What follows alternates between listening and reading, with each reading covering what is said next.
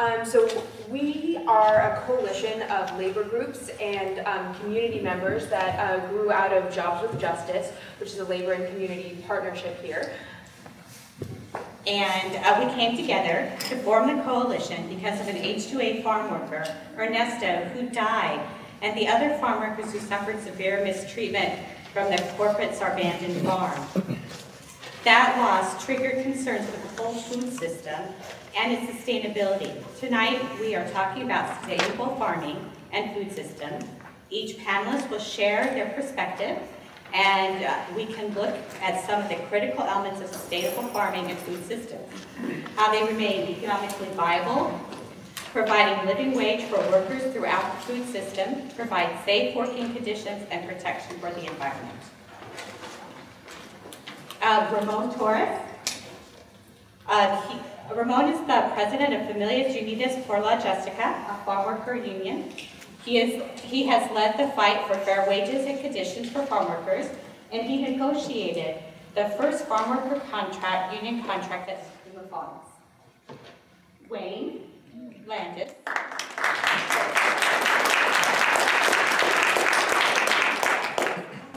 Wayne Landis is the director of the Institute of Environmental uh, Toxicology at Western Washington University. His research centers on the uh, ecological uh, risk assessment of chemicals, invasive species, and other factors. Funding for this research has been broad from industry to federal agencies, state agencies such as the Puget Sound Partnership. He's a fellow of the Society for Risk Analysis and the Society for Environmental Toxicology and Chemistry.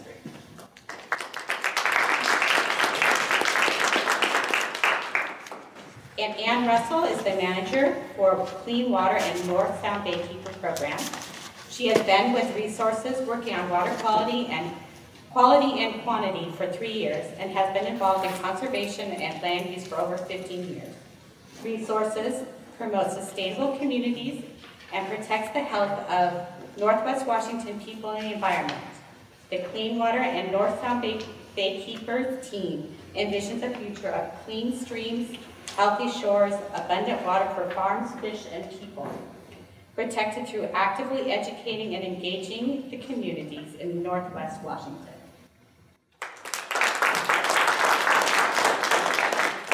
And uh, Harley Soltes, and so Harley and his wife Susan have spent seven years revitalizing the oldest blueberry farm in the Skagit Valley to create a sustainable family farm through conversion to organic production of value-added products. Uh, at six acres, uh, Bow Hill Blueberries is a relatively small farm when compared to today's uh, blueberry and raspberry operations in Northwest Washington. And Adrienne Renz is the outreach manager for the Community Food Co-op, where she works to define values and goals for the co-op while putting them into practice. The co-op is a community-owned uh, cooperative grocery store committed to food system development that strengthens our community assets and people. In working towards food system development, she has served in the development and leadership of the Whatcom Food Network to build collaboration and, out, uh, and understanding between stakeholders on the issues and opportunities uh, presented to us today. So we'll get started. Um, each panelist will give a short presentation, um, then both of us will ask a question each. Um, then we'll turn the questions over to you, the audience. Um, Michelle will be going around with a microphone, so if you have a question you'd like to ask, just raise your hand and we'll point to you and she'll come to you with a microphone. And you also have um, index cards and a pencil on your seat. So if you would prefer to write out your question, um, you can do that and just pass it forward. Um, if there are questions that we don't get to, uh, we will collect all of the questions at the end and answer some of them on the Facebook page. All right, um, let's get started. I think Ramon, Ramon's first. Bueno, um, primeramente este, queríamos uh, anunciar que queríamos hacer la oración del campesino So first I wanted to announce that we were going to do the farmer group prayer. A memoria de nuestro compañero que falleció este, esta temporada. Uh, in, in honor of our farm worker that died this last season. Las personas que puedan pararse, si por favor se paran. So those who can stand, uh. Ah, vamos a repetir ah, después. Yo, lo- como se trata es de que yo digo una oración, va a ser en español y los que puedan repetirla, la repiten después. So I'm gonna uh, say it in Spanish, uh, and the way that it works is I say a line and then everybody repeats it. Ah, enséñame el sufrimiento de los más desafortunados. Enséñame el sufrimiento de los más desafortunados. Así conoceré el dolor de mi pueblo. Así conoceré el dolor de mi pueblo. Líbrame a orar por los demás, Líbrame a orar por los demás, porque estás presente en cada persona. porque estás presente en cada persona. Ayúdame a tomar responsabilidad de mi propia vida. Ayúdame a tomar responsabilidad de mi propia vida. Solo así seré libre al fin. Solo así seré libre al fin. Concédeme valentía para servir al prójimo, Concédeme valentía para servir al prójimo, porque en la entrega hay vida verdadera. porque en la vida hay vida verdadera. Concédeme honradez y paciencia Para que yo pueda trabajar junto con otros trabajadores. Para que yo pueda trabajar junto con otros trabajadores. Alúmbranos con el canto y la celebración Alúmbranos con el canto y la celebración para que levanten el espíritu entre nosotros. para que levanten el espíritu entre nosotros. El espíritu florezca y crezca Que el espíritu florezca y crezca para que no nos cansemos entre la lucha. para que no nos cansemos entre la lucha. Nos acordamos de los que han caído por la justicia, Nos acordamos por los que han caído por la justicia. porque a nosotros han entregado la vida. Porque a nosotros han entregado la vida. Ayúdanos a amar aún a los que nos odian. Ayúdanos a amar aún a los que nos odian. Así podremos cambiar el mundo. Así podemos cambiar el mundo. Fue escrito por César Chávez. So that was written by Cesar Chavez. Um, gracias. So thank you. I don't know that I know Spanish. Okay,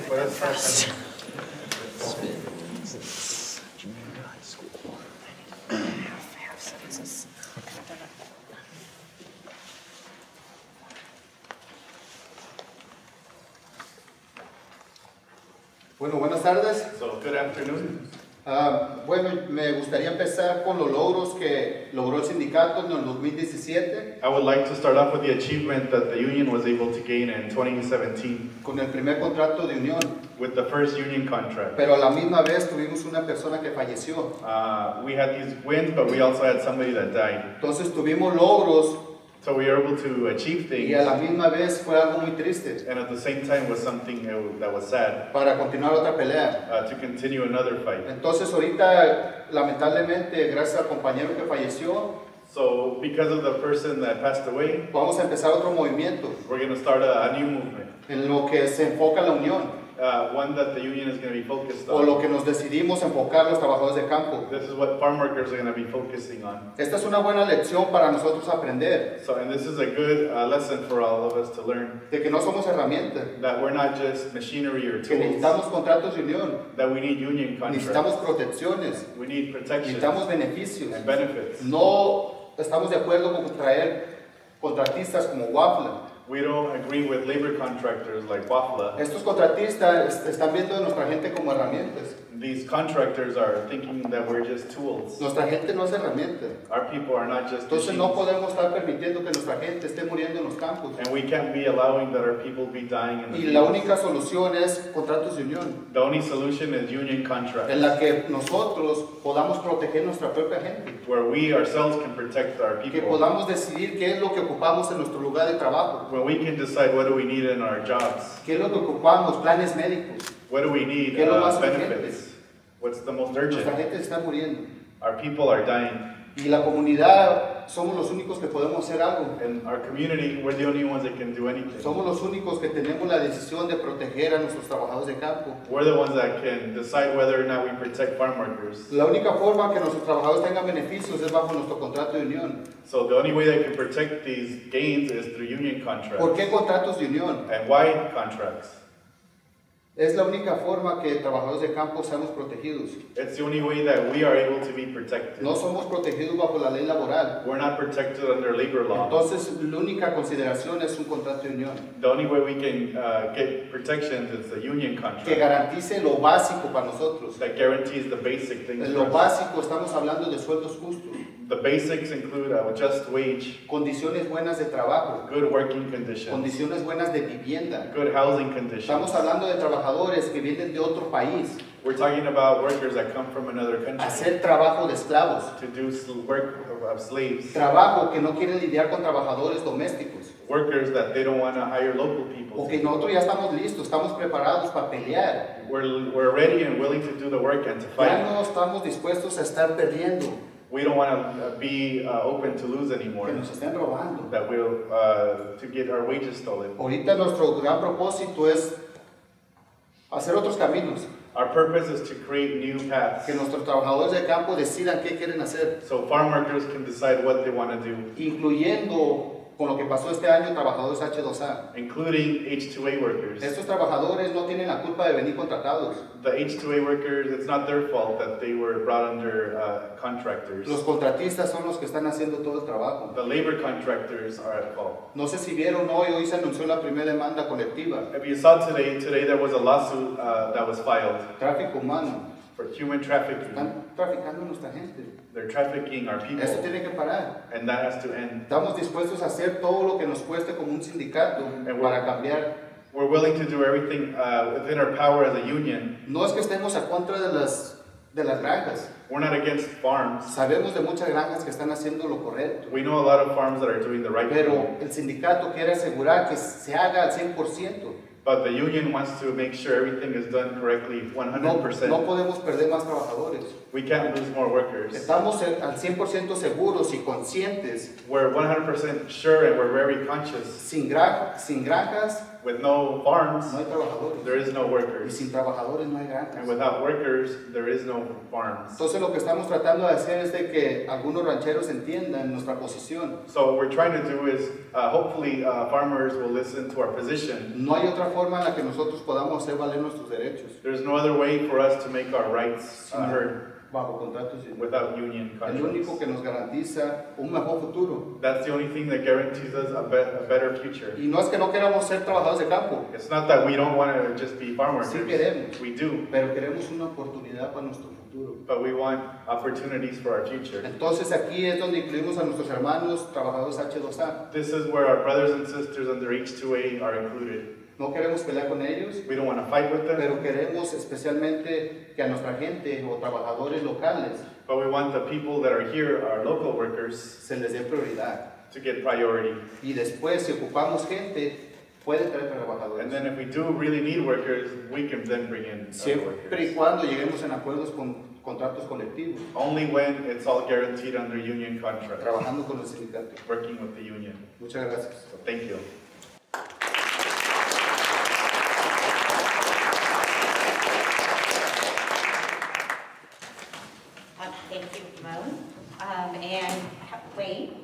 Yes. would you like to Yeah. speak now? Yeah. Thank you. Do you mind repeating the, the organizations these folks are from, as, as they come up to speak? Oh, sure. I'll tell you too. Oh, good.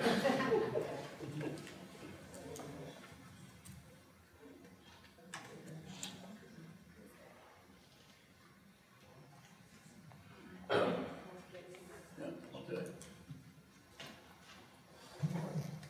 There's a, a school in town. I work for it. Western Washington University. I've been there since 1989, which my hair looked a lot different back then. I see that some of the rest of us al- also working on that longevity thing. Um, so I've been there a long time. Um, I direct the Institute of Environmental Toxicology and, chemis- uh, and used to be chemistry at Western. Uh, my job is to, our mission is basically to be a service, uh, to provide uh, an education and also do research. So because of that, um, that's how we're fun- have been funded by so many different kinds of organizations, from industry, NGOs, uh, all kinds of agencies from different states and provinces, uh, because it's so easy to do here. I could be a president because I can see Canada from my building, right? Okay. All right. and also, uh, it's kind of fun. We work a lot with the Sound Partnership.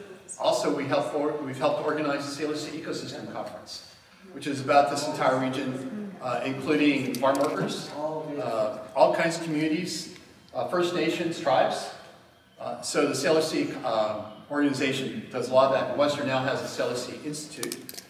Um, and I used to work at Aberdeen Proving Ground. Anyone here in the military? Ever been in the military? Yes, Aberdeen Proving Ground. You may have heard of it. I worked at the Edgewood area. That, yes, that's where chemical weapons were. That's where they made the nerve gas? What? So we actually did make it, but when I was there, because after 69 you weren't supposed to do that, uh, we did all the gas masks, all the, all the equipment. If we actually needed something like nerve gas, we'd make it ourselves. So yeah, and you're going, how is this relevant to what we're talking about? The nerve agent used for chemical warfare and the pesticides are often used are all the same chemical class. So that's, I've had a long interest in what we call organophosphates and related kinds of compounds. So we're going to kind of talk about that. That's how I know a little bit about the human toxicology that's involved. But most of my emphasis is on non-humans. And you're going, why should I care about those? Because you eat them. You hunt them, fish them, and uh, it's the environment that provides ecosystem services. That's why you have farms here. And uh, lots of ecotourism and so forth. So we're going to touch about, we're going to touch on all that. My website's right there. But the easiest thing to do if you want to know more about me is just Google it, which is so convenient. Uh, just Google Wayne Landis toxicology and then just start reading. Thank God for Google. Um, and you also wonder, what, you're kind of like a scientist, a professor, what do you know? And um, what's your point of view? And it's actually, uh, I describe this all the time all over the world. So I'm a scientist. I don't make policy decisions. I inform people. And what I try to do, that information has to be backed up by evidence. I just can't stand up in front of you and say, I believe, because it makes me feel good. It doesn't work that way. You're supposed to have evidence about what occurs. Unfortunately, in some areas of what we're going to talk about tonight, there's lots of evidence, scientific information, and others not so much. I think that's what frustrates many people in the public. Well, you're a scientist, you should know everything. So no one knows everything. What do you mean? You don't know everything? No. What I spend my life doing is living on that edge. If we already know it, it's of no interest to me because I can look it up. So we're always trying to figure out what we don't know. And when it comes to ecosystem services and all these interactions, there's a lot we don't know. You go, well, what side do you advocate for? I work for the state of Washington. The state of Washington, I'm a civil servant, which I don't think everyone understands that. And so by rule, I have no side. I, when you advocate for, Wayne, the science. And lately, a lot of my papers have been about advocating for the science, given the current state of affairs in the United States. Uh, actually, in Europe as well. So it's not just the United States, but also Canada and Australia seeing some of the same kinds of things happening with a lack of support of science. Um, so we're not decision makers, but if you ask me a question, I will answer it. And there will be times that they'll just say, I don't know. In some cases, I'll say, we don't know. When I mean we, we not my laboratory group, but us as, as a group of scientists in toxicology. I thought I'd bring this along. I hope you guys recognize these watersheds. You guys talk about counties. I'm glad we got someone here from Skagit. I think about watersheds because that's the natural boundary. And these are just maps of two of the very cool ones that we have. The one on your left is the Nooksack. Great watershed. It's also an enormously diverse watershed, right? Because you go up there from forest land, these beautiful forests, and you're thinking, oh, this is really natural and great, until you see the other side of the hill, it's all been cut. Just saying. We also have great rivers, the different parts of the Nooksack, and we're come together. Of course, once it hits the flatlands, going through Lynden and so forth, it's beautiful, beautiful land. And you'll see some pictures of that in just a minute. Then we have the Skagit. What a great river as well. Huge runs of some salmonids and eagles that like to eat them. And this is the eagle season, right? This is where you get to go up and, and see that. Um, also, lots of water. Uh, in the summertime now, the biggest change I've seen is the water coming into the Skagit has that blue color you get from the glacier melt. That's a different thing than what happened when I first got here in 1989. So we're seeing some of those changes. Uh, so there's a lot going on here. There's also this area provides lots of what we call ecosystem services, things that you derive from that area. Um, crops, we have a huge variety of crops here. They're very seasonal. Uh, a wide variety of fisheries. Uh, fresh water, people really do like to fish trout. And you're going, that's not a commercial fishery. Um, the guy who goes fly fishing, I don't know where he bought his stuff from, and I don't know what hotel he stayed in. Oh, it was in Whatcom County, Skagit County. Um, forests, lots of forests, and we also have huge numbers of protected areas. So this is an enormously valued part of the state of Washington. This is kind of cool. So I'm a pilot. So I recognize this part of the, I recognize this county better from here sometimes than I do driving around in it. Of course, that's part of the Nooksack. You can see Mount Baker there in the background. Um, the winding kind of curvaceous uh, rivers we have, where the flow's really down. And I took this in the summer, we had almost no water flow that summer, right? So this is kind of kind of cool. You're going, isn't it, isn't it really hard to fly the airplane and take, camera, take pictures? I have an iPhone. I've been flying a long time. The airplane really knows how to fly. I'm just there to kind of guide it along. And this just kind of shows the diversity. We have the rivers and the watersheds are really bounded by the agricultural lands. And you can see in the upper left-hand side that really there's not much boundary there. In some places there are. There's lots of different kinds of agriculture and so forth that occurs. In the upper right, you can see some more of the land, and we're looking out towards Lynden and Canada. Down at the lower left, uh, it's not agricultural, but certainly is a huge employer. This is the areas at Cherry Point. There's agriculture that goes on out there. There's wildlife preserves. Uh, shipping comes in, tankers, and so on. So there's a lot that goes on in that particular area. It's a real mixture. It's also where you see the freshwater and the marine systems interact hugely. Uh, also in Lake Terrell, there's actually salmon runs that come in up through there. And of course, in your lower right, um, Bellingham.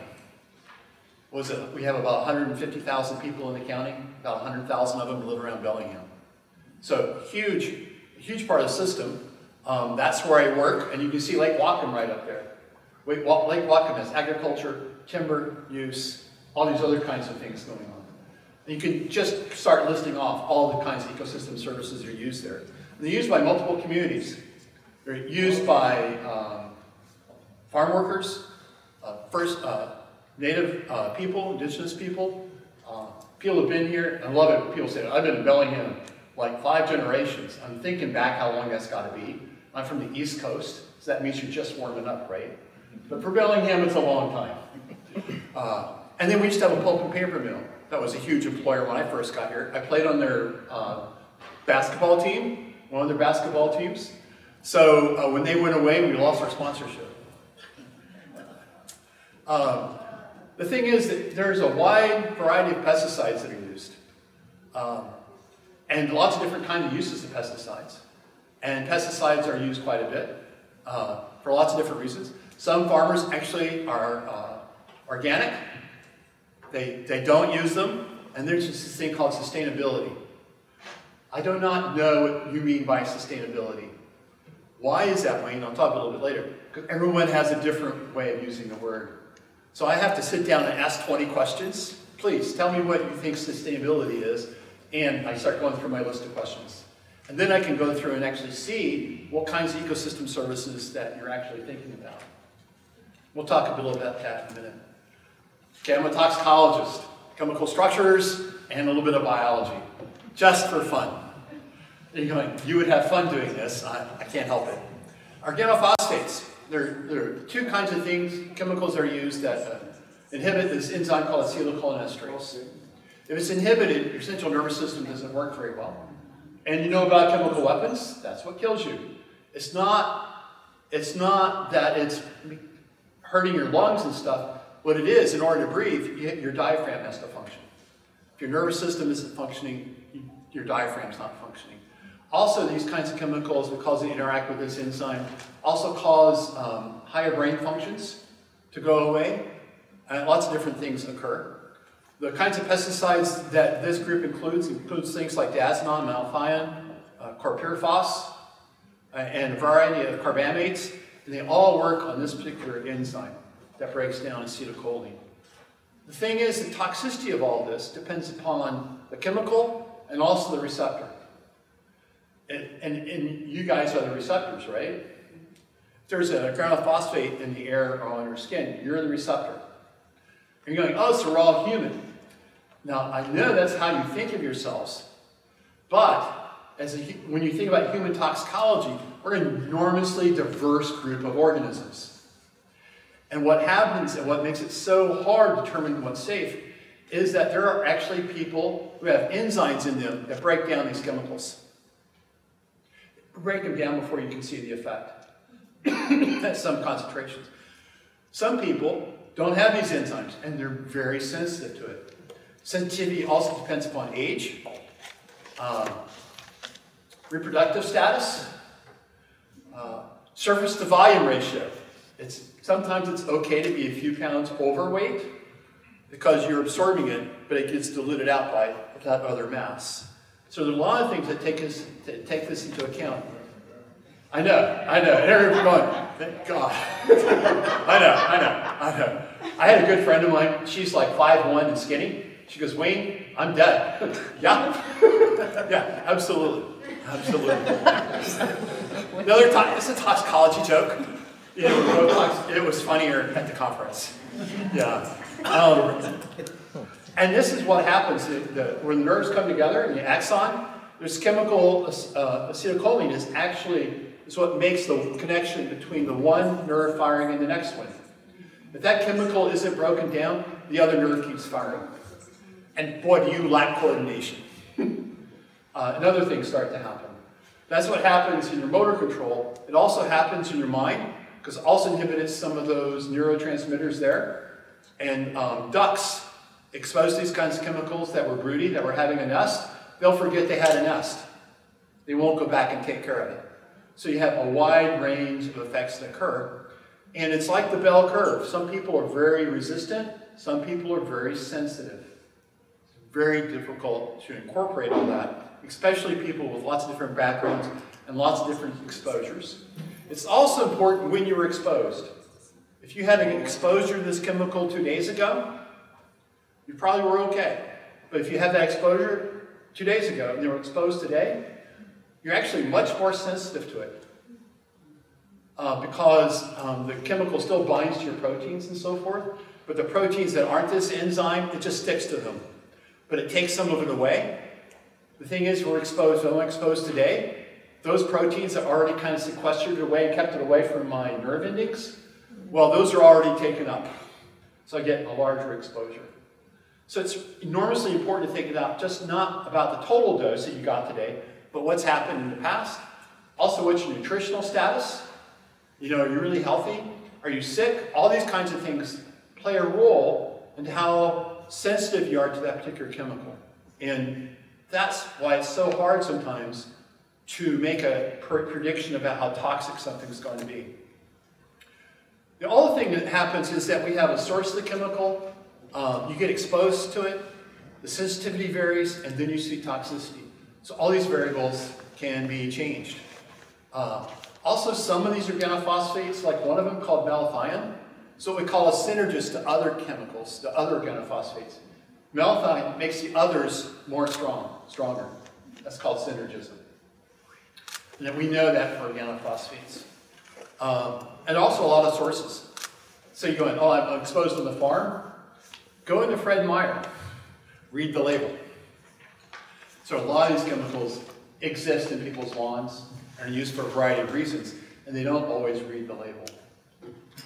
Um, what's the exposure, what's the chemical, um, what's the organism exposed to? Well, if you're a fish, everything. All the agricultural runoff, uh, some of the pesticides, so forth and so on. So none of us are exposed to ever to one chemical, but we're exposed to a mixture. And one of the biggest problems, issues in my science right now, we don't understand how these mixtures interact and how they interact at molecular level. The nice thing about humans, we're one species. Now, how many species of uh, salmonids are there in the rivers here? Five, at least. Okay.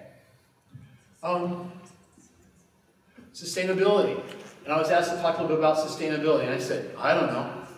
So I tie it back to what I can do as a science scientist. People that usually talk about sustainability they're talking about maintaining those services that environment provides, that maintains their way of life, maintains the things that have value to them.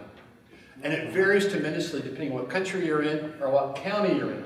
Somehow I think King County is probably thinking about this different than Whatcom County. How many berry farms are there in King County?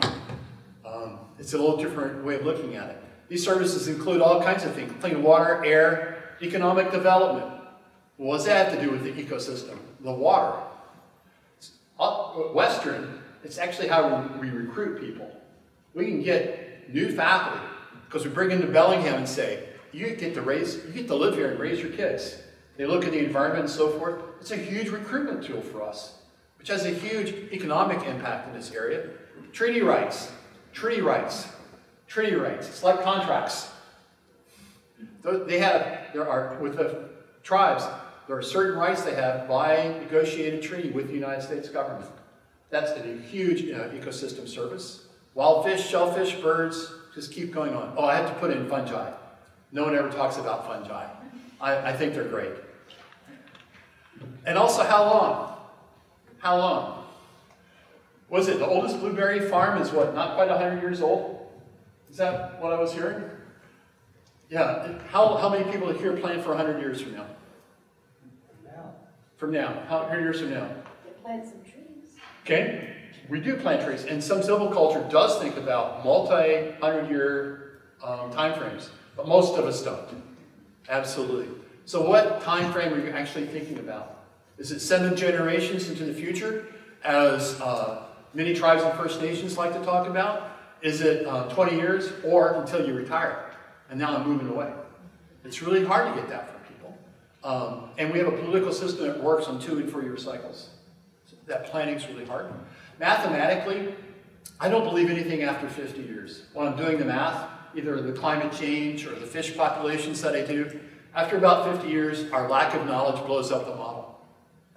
So I can tell you climate change will occur, but don't ask me to be very precise very far into the future. And you're going, that sounds really bad. The weather is only good for five to 10 days. So I don't feel quite so bad. Sustainability, things you can count on that will occur in the next 50 years. Uh, if I tell you the population of Whatcom County is going to increase, does that surprise anybody? No. Know, this area within what we call the Sea, uh, Puget Sound and Georgia Straits, I think they're expecting 5 million additional people in that time. Yeah. Yeah. Okay. And the climate is changing. There are clear drivers where the climate here is going to become more like California in some ways. And it's not that the total amount of precipitation is going to change, but it's probably going to be more of it's water instead of snow. You're going, that's okay with me. Not if you don't have reservoirs. We don't build reservoirs here. We have lakes and we have snow. So those kinds of things will certainly occur. And what's going to happen here? That's a bald eagle. That's Cherry Point. Uh, that's a tanker. Which one of those things, and how are they going to change? That's really a great question. Sea level, we know, is going to rise. What's the oil, what's the energy going to business going to be like 50 years from now? Are we going to be past oil? Uh, are people still going to be harvesting Cherry Point for shellfish? Probably. I can tell you, people are still going to want to come here and see the eagles. So that, I guess that's how I think about the sustainability. How long will pesticides be here? Boy, ever since they started making them, they still make them. So it's going to be really interesting to see how that occurs. Thank you very much.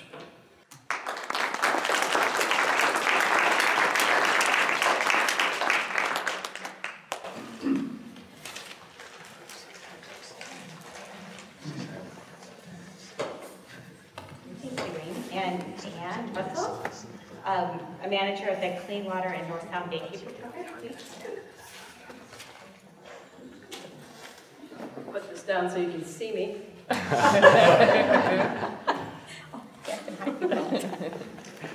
Five one, but not that skinny. Um, Okay, I didn't say anything about any specifics. I want to I want to leave a lot of time for questions because there's a lot of people here who probably have a lot of questions or so I won't I won't talk too long but um, my name is Ann Russell and I'm the program manager for the Clean Water Program and the North Sound Bay Keeper Program at RE Sources for Sustainable Communities. Um, raise your hand if you've heard of RE Sources. Okay, great. Then I won't talk too much about the organization. Uh, but we do have kind of four areas where we work. Clean energy, Eddie Urie's here, our clean energy program manager. Uh, clean water uh, and sustainable schools, which is a program that does environmental ed in schools throughout the county, and uh, we run the RE Store, which is what most people know. So I manage clean water, and uh, I think Wayne did a pretty good job at talking to you about some of the challenges and some of the issues that we have with our water here in Whatcom County.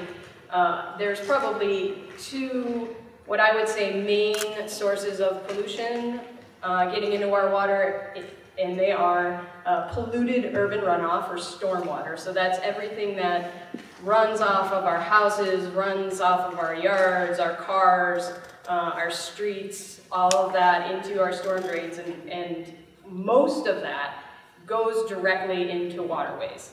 So stormwater is not treated. It doesn't go to a water treatment facility and, and get cleaned up. It usually ends up either out in uh, one of the bays or one of the marine nearshore waters or uh, in our streams or uh, sometimes in groundwater too. So that's one thing to keep in mind. Anything that's running off of our bodies, whether our bodies are in the fields or uh, outside in any way, that's all going into our water. So, and we're all made of a lot of water as well. So, uh, and then you know, the other thing we work on is water quantity. So, how much water we have here, how do we allocate it, who has the right to access it, and what do they have the right to access it for. Um, we have a system in the West of water rights that's called prior appropriation. Mm -hmm. And I'm talking about this because it, it's, it's really important um, in how agriculture plays out in our county and in Skagit County as well. The first, it's called first in time, first in right. So you're basically in a line. Um, and the most senior water rights holders in Whatcom County and Skagit County as well are Native American tribes. Uh, here in Whatcom County, that's the Lummi Nation and the Nooksack Indian tribe. And, you know, Wayne mentioned treaty rights. Um, and one thing that I find interesting about treaty rights, and there might be folks in this room that know a lot more about treaty rights than I do. Um, incidentally, we, right now we're all on land that was uh, part of the Lummi Nation, and uh, we are here by a treaty. So a treaty isn't a granting of rights to a tribe from the United States government. It's actually the other way around. Um, the Native American tribes gave rights to the U.S. government in exchange for living on reservations. As really oversimplified.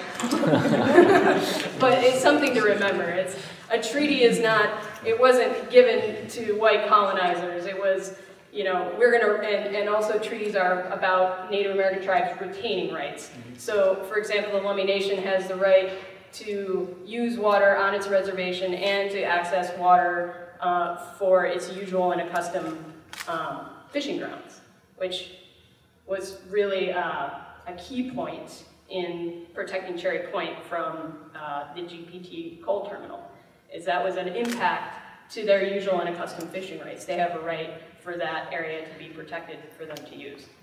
So speaking of which, salmon.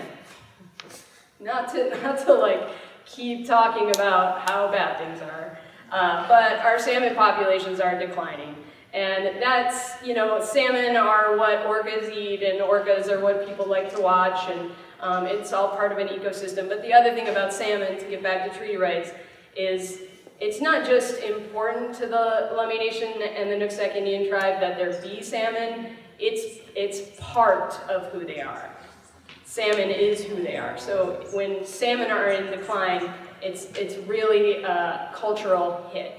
Um, so we have basically to honor the treaties that the United States government has with these nations, it, it, we are part of managing bringing back salmon. That is part of those treaties as well. So in terms of water quantity, we've got this line of people who have rights to water. Nobody owns water. Um, well, that's not true. In this water rights system, nobody owns water. You have the right to use certain amounts of it. Um, and as, yeah, I won't even talk about corporations buying water rights like Nestle, let's not go there. it's a whole different forum, but, um, but water is a big issue. I mean, every, every thing lately that's come up has, you know, you can draw it back to water. We've got, uh, Cape Town, South Africa is about to run out of water completely. No more groundwater. So, and you can imagine the kind of conflicts and the kind of issues that that brings up. Here in Whatcom County, we have a lot of water, but we do have a problem. Is August and September, which are two of my favorite months in the Northwest, because they're nice and dry and sunny. Those are times when the most people need the most water and we have the least amount of water available. Um, which again gets back to salmon. Salmon also need a lot of water at those times of year. They need it in the little small creeks and tributaries that run into the Nooksack River so that they can, uh, you know, grow bigger and lay eggs and do all the cool things that salmon do. And those are the times when we have the least amount of water. Those are also the times when we need uh, water for irrigation. So water use spikes up for that. It's also the time when people want to water their lawns and, and all of that. So we have a water problem in general throughout the year, but we have a really big water problem in those few months. So uh, what RE Sources does is we try to use policy and advocacy and science. So we love folks like Wayne because then we don't have to know all that stuff. We can just call him up and ask him. Um, we try to use science, education, advocacy, changes in policy to uh, make our water resource management more fair. Uh, and gosh, I mean, I could just go on and on. I have a whole list of things um, I want to say, but I do want to leave time for questions. Uh, suffice to say, I work at an environmental nonprofit, and this is a challenging time uh, to work in anything related to the environment or social justice. And I think that the way that we move forward with this is to engage our community in making change and also in,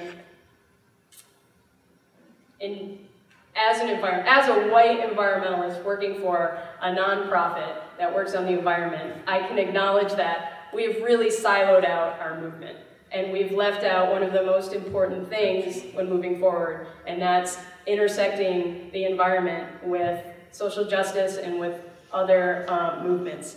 And in order to create a system where we're being more fair with how we allocate water and where we're engaging people in insisting that our governments uh, make changes needed to make our systems of managing water and protecting water and stopping pollution more fair, we've got to do a better job at that. And that's part of the reason why I'm here today, part of the reason why I'm going to sit down in a second um, and, and look forward to hearing your questions. So just totally went off script on everything I wrote down that I was going to say, but um, I'm just going to sit down and let other people talk.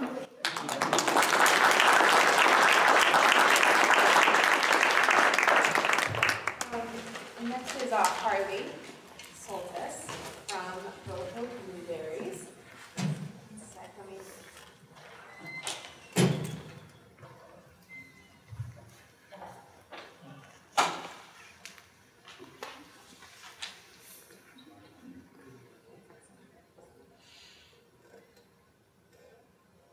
While she's getting that teed up, I'll say that it's good to hear from Wayne and Ramon. And I go to a lot of, as a farmer, I go to a lot of farm conferences. I go to, going one for Friday, Friday, and tomorrow and Saturday this week.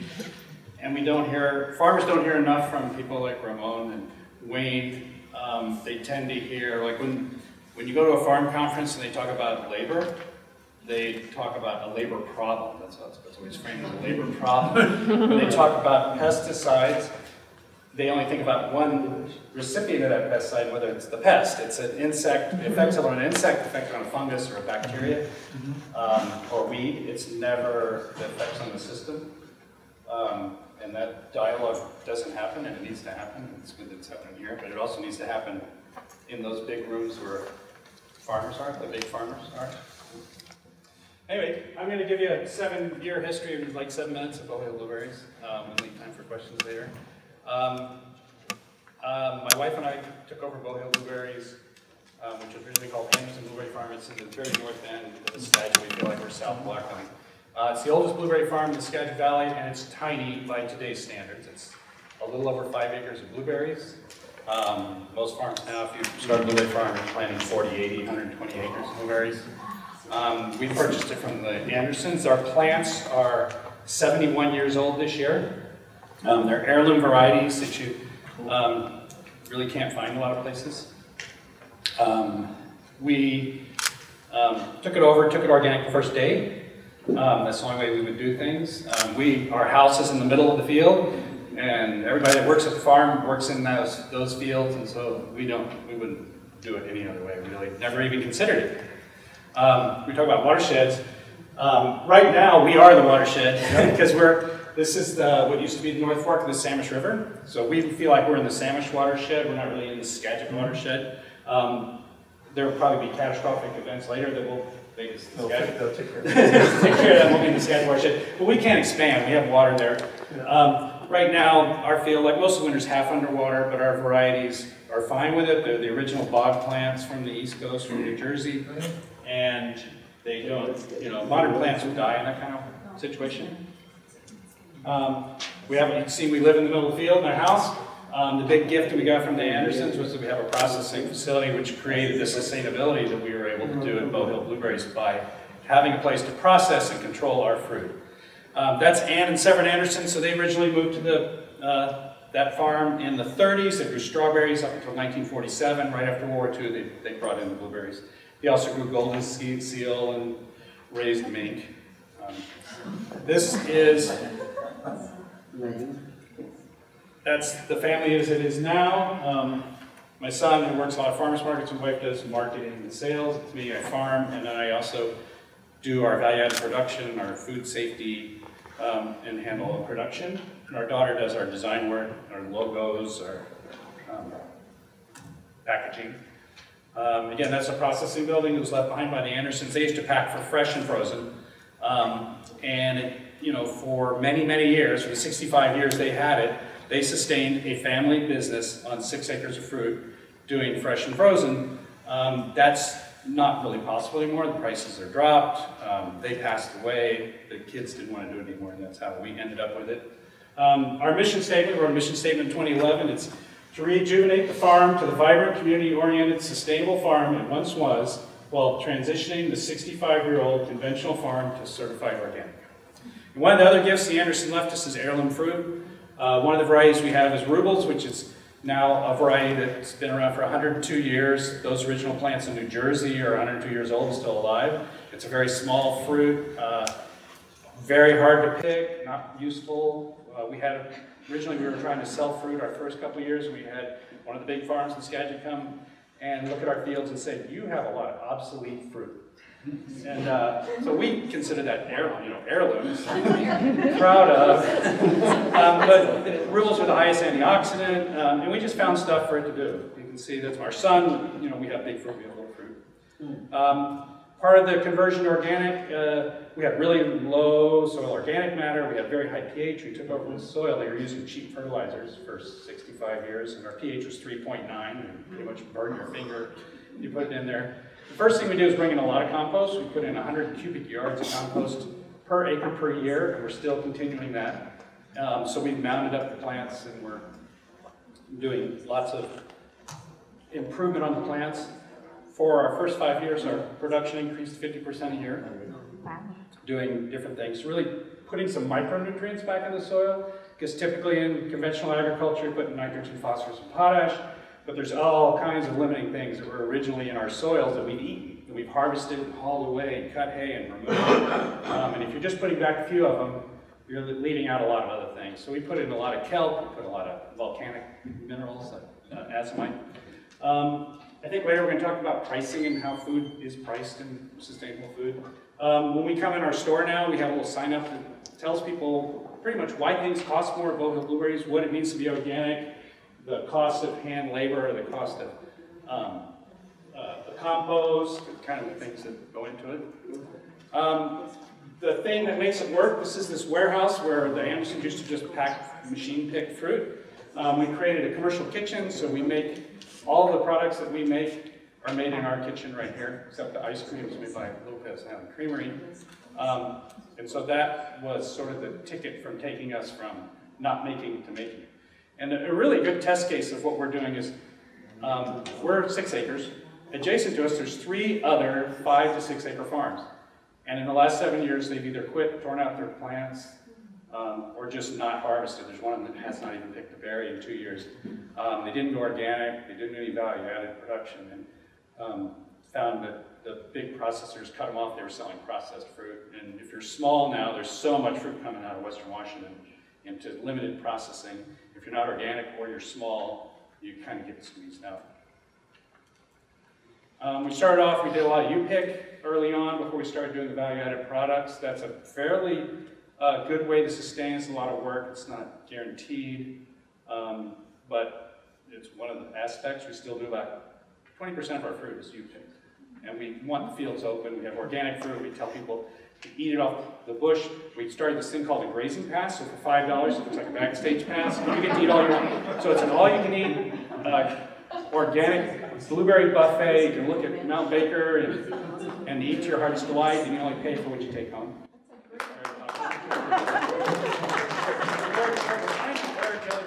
Do it um, because it does help cover some of the costs. If you come and only we're going to pick a pound of fruit, um, then we're kind of losing money on that thing. So it helps cover it. If you pick 10 pounds or more and pay for it as you pick, you get your $5 back for your grazing pounds. So we started off, we did a lot of fresh fruit. Um, and then we found out, really, there's so much fruit now, everybody's got fresh fruit at the same time. It's kind of hard to make any money doing that. You're competing against a lot of big farms, a lot of big farms that now have machine picking for fresh fruit.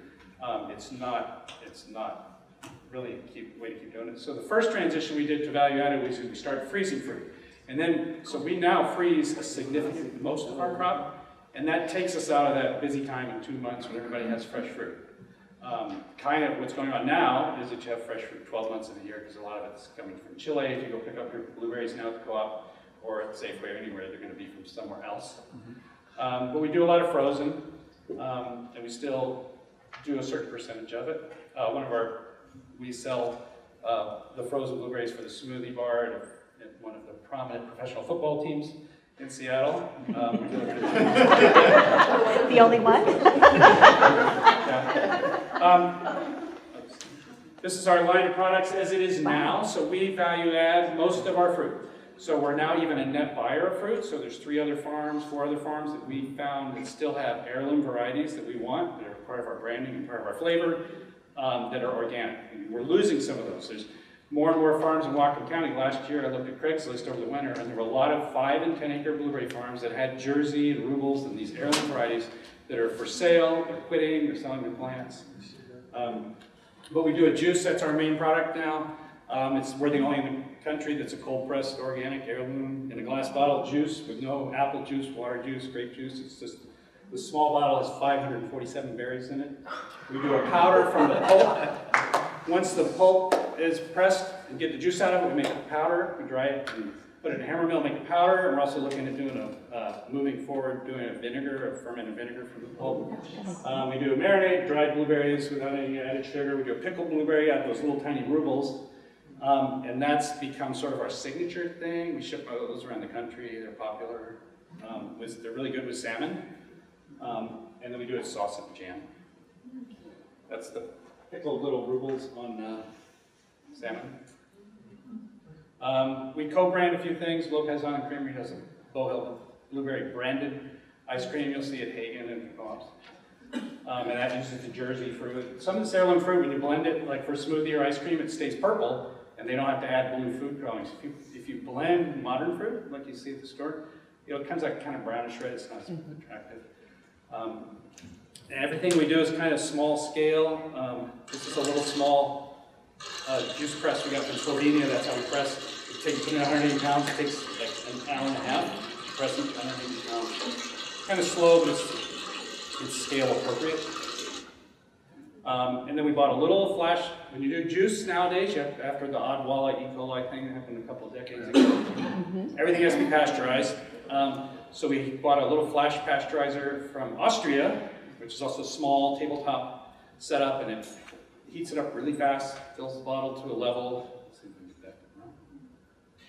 Um, and uh, it's something we can afford at our scale. It's- Most of the stuff made in America is like hundred thousand dollars. It's designed for large factories. It's not designed for small farm, on-farm processing. Um, we dehydrate blueberries. We're one of the only ones out there that doesn't have sugar and oils in them because most fruit they infuse with sugar, so half the weight sugar. Sugar is cheaper than blueberry.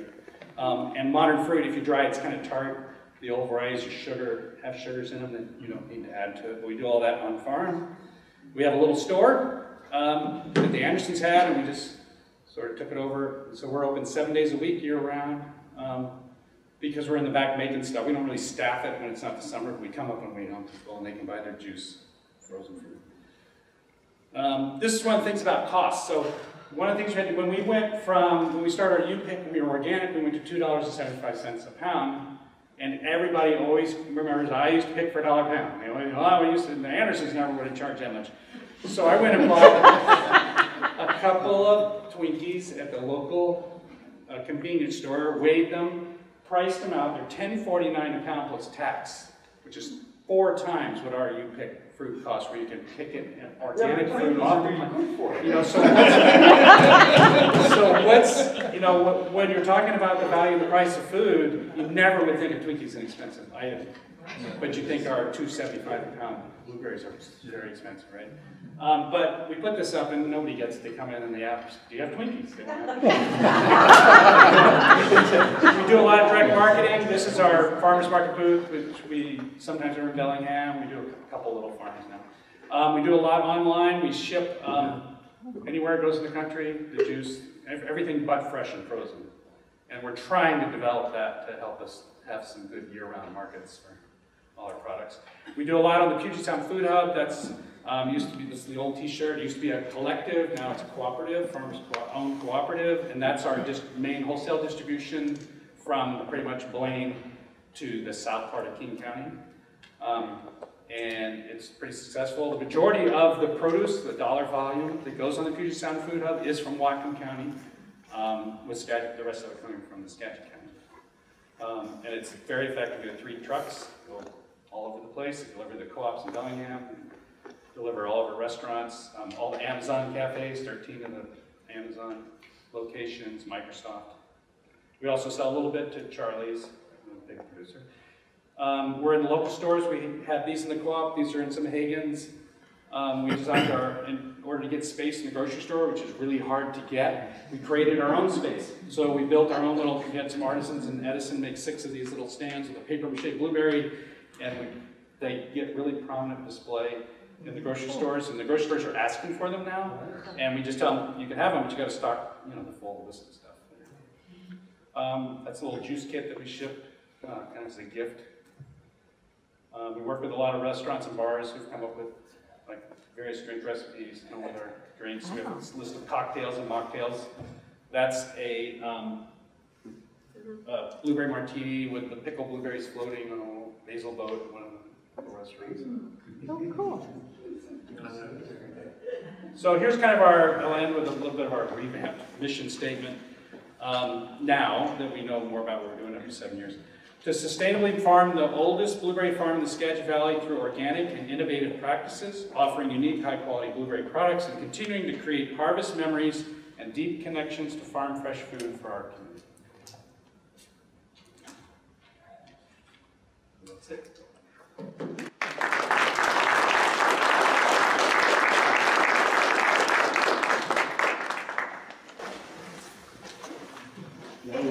Um, our final presenter is Adrienne um, Renz from uh, the Community Food Co-op.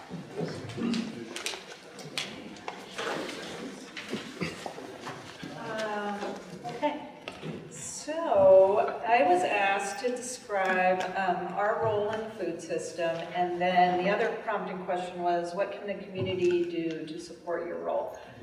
One thing I think that um, Bow Hill does really well, just looking at that, is imparting some of the passion I feel. Like I'm sitting here listening to everybody talk, and I'm like, yeah, and this is so important, and this is what you can do, but how do you turn that into something that um, the community can engage with, and it doesn't feel like it produces a guilt trip and makes people go away. So, you know, your Twinkie reference for me is like so dead on. What is the cost of the food that you're buying and what goes into the food that you're buying?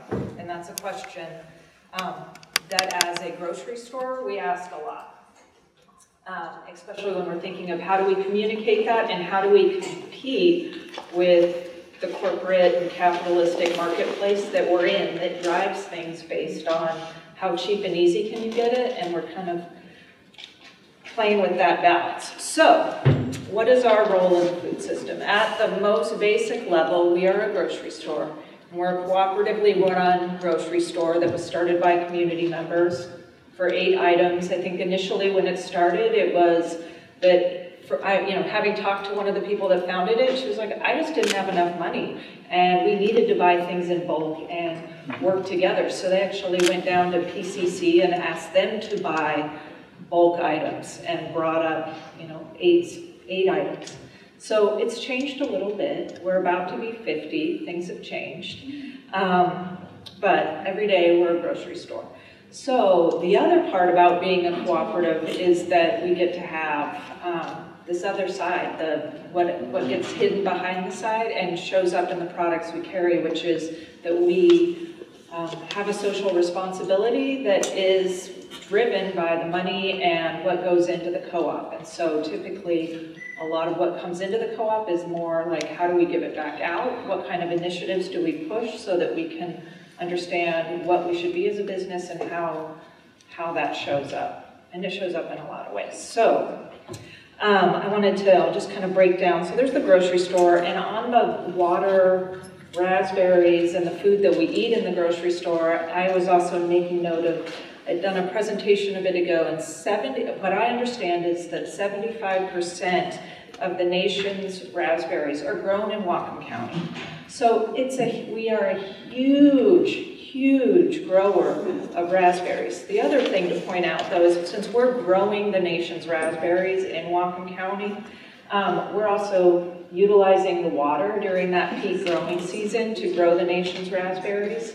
And um, the majority of those raspberries are not organic by any stretch of the imagination. So we're also harvesting a product that has long-term toxicology impacts that we don't know.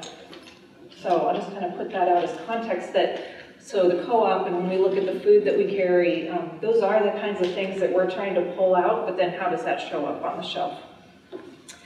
Um, so first and foremost, the grocery store model. About 18 years ago, we started the Farm Fund, and we have this committee called the Member Affairs Committee. Part of being a co-op is it's democratically run, and members, it may seem like a large business, but members show up every month. I have, I see a couple people that are on MAC. Um, and we think about what it is to be an owner and what the look of the business is, and we get feedback and we work on initiatives. One of the things our Member Affairs Committee came up with 18 years ago at this point is the Farm Fund. And the Farm Fund initially started as a micro grant program just to help build shared practices around sustainable farming. And that was basically like, people can't take a risk to try an heirloom variety of a fruit or a new variety of a strawberry to see if it will work in our climate and take less water. So the Farm Fund wanted to put funds towards that so we can have some learning for our farmers. In that time, it's evolved. And we started hearing more and more, we know land is an issue in Whatcom County and having access to land for farmers. Um, and that scaling up was the other thing we were hearing from farmers is, I'd like to go from being a CSA or a farmer's market, but how do you even make that jump from being a small, maybe one to two acre farmer, um, to being somebody that can sell to a grocery store and earn a living? So the Farm Fund now is doing microloans and um, partnered with the credit union, and the, so the co-op secures the funds for that farmer and then builds that relationship with the credit union for the farmer.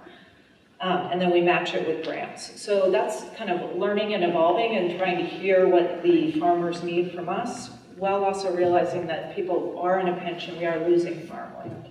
And we do have blueberry farmers. I look at those same Craigslist ads and think, should I be a farmer?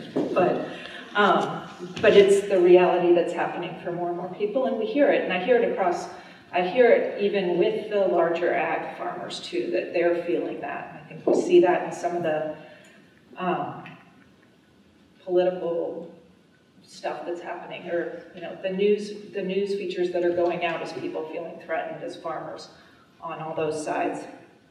Um, so, so we've got the farm fund. The other part is that recently, well, five years ago, we went through a process to, to build a strategic plan. So we reached out to the community, to our shoppers, to our staff to figure out what should the priorities of the co-op be. And one of the main things that we did get back was that we should be focusing on local food system development. So that is one of our goals. But what that means is a whole thing to start untangling and how that shows up. Um, when I, I started around the time that the strategic plan came into being, and um, what came about from that was one, a commitment to doing sustainability reporting and having a third party monitor goals and metrics that we do to hold ourselves accountable as a business. So um, we have a sustainability coordinator. She sets the goals. I, we have a little tiny report that we put out, but I put the larger um, pamphlet or binder over there that shows what the goals are for the year, how we met them, how we didn't meet them, and what's happened over the year. So we send that away to a third party, the Sustainable Food Trade Association, and they monitor us. They monitor the goals we set and tell us if we've set reasonable goals or not, and then they look at the report and let us know if we're full of holes and what we need to do from there. Um, the other thing that came out of the strategic plan was partnering with other organizations on what is called the Whatcom Food Network. Has anybody here heard about the Whatcom Food Network? Awesome. Oh, that's so heartening to hear. Uh, um, and I say that because I've had a lot of conversations lately where I'm talking about the Whatcom Food Network and how to give it more, um, more of a foundation to stand on so it continues to grow. And one of the things I've been hearing back from funders is that they don't believe in food, they don't believe in system change. But the Whatcom Food Network is based on the fact that we have a food system and we have some control and we can change it as long as we're informed and working together. So so it's heartening to hear that you've heard about it, and I will say that the co-op and myself basically come with, with the belief that you can make system change. And so this is one path, is starting to get the information so that the reality of where we're at right now is available for one, everybody to have and to see. It's available to present for decision makers, and that you bring in more voices. So you have um, something I was sharing with people the other day from my perspective from the co-op is I think used to think the co-op's a grocery store. We care about organics. People might say, like, you care about food, you care about organics. So we care a lot about that. Then we also care about farmers because we need farmers and farms to make food. And then, oh yeah, we care about fair trade and we care about the people who are picking the food. But it just seemed like our primary care was organics. When you look at a food system and you're actually giving equal value and weight to each of those categories, you are seeing the fact that you, have, you don't have food, you don't have farmers if we don't have labor, you don't have farms if we don't have water. So there's kind of a, what I've been calling, for lack of a better word right now, is the paradigm shift of seeing that it's much more connected than just kind of a sphere, what's my sphere of influence on these areas? It's these are directly re related, correlated to our well-being as a business and a community. Yes? What is the mission or purpose of the Whatcom Food Network? Well, at the basic level, it's to foster collaboration and partnerships within the food system. At our most basic level, we host forums to share information, because what we were finding was we, this is the perfect example of a Food Network meeting. You'd have everybody who goes together for a meeting about water, and you see those people repeatedly at your meetings. So they're your, you know, your realm of knowledge. But then I'd go to another meeting for people working on, I don't know, pick a topic. It's like you pick it with um, farming, and I'd have a different group of people. And there's these two groups working on a system that impacts its, you know, they impact each other with their work, but we're having two separate conversations. So that is, at the base level, that's what the Food Network is trying to do. One of the things that we put out to forward this, beyond getting together twice a year to share information across sectors, is the community food assessment. So the community food assessment so far has come out three, every three years. That is the commitment we've done. Initially, WSU Extension paid to do a full assessment. So it's like, what is the state of farmland? How much do we have currently? What is the state of water? Where are we looking at with shellfish beds? How many are closed? How many are open? You know, and doing key stakeholder interviews and data. So we just get all the data broken into the sectors down for a report. You can find these online. Um, and then every three years, we go back and we check in. And we also ask, so who else do we need to be asking? like, who else isn't at the table? I know when you were talking about treaty rights, I'm like, so gonna need to put them on the interview list Yeah. for sure. Um, but this provides a baseline conversation. So when I'm looking at food system as the co-op, which is also this hat that comes on every once in a while, I take this information and for the Food Network, we used it when the comp plan came up at Whatcom County and said, here, here's our data, this is what we're seeing, and we think you need to acknowledge that we have a local food system and that is of value. It's an economic value to Whatcom County to acknowledge what it is.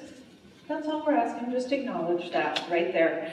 And that, that means that in the next, you know, work of the comp plan, we're gonna have to address how we're going to maintain that economic value.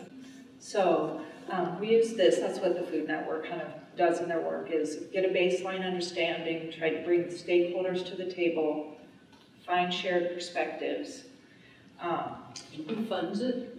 uh, a lot of hard work. Right now, we've had the Sustainable Whatcom Fund has provided some support for um, a 10-hour-a-week admin person, but mostly it's donated by the organizations that show up. Uh, and it is open, they're open meetings, so it, it is open. Uh, I know RE Sources sits on our, our steering committee at this point. Okay, so I'll just, uh, it's a passionate thing. So I'll say the creation of the Food Network and CFA is how we show up in the food system, and I would encourage you to check this out if you want to understand what's happening currently. What you can do, I'm just going to say one more thing before the hook comes out. Um, when I thought about what can you do, I had a lesson uh, about two years ago, maybe three years ago at this point, which is we've had a change in which we realize we can impact the food system. When um, Ramon and other farm workers came to the co-op and asked us to have a boycott, I think the initial reaction is, we can't impact that. We're not going to make a difference if we boycott. Um, and that wasn't the case, and I think it was a moment where the co-op went, whoa, we can actually um, change the dialogue and we can help somebody else change the dialogue that's happening. So we understand we can make an impact, and I turn it back to you, that you can make an impact. You just show up, show up at MAC, show up at the Food Network, show up in your purchasing, and uh, that's my, that's my statement.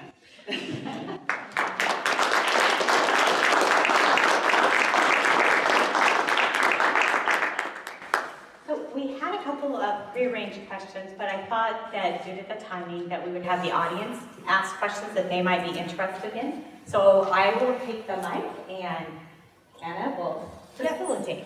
And um, so raise your hand if you have a question, um, and if you'd like to pass, if you have a written question and you, you don't want to present it to everyone, you can um, pass it forward. Um, and we've got one right now. Um, for Bow Hill Blueberries, how many farm workers do you hire and how do you recruit them? So, any mic? Um, yes, I've got a mic right here.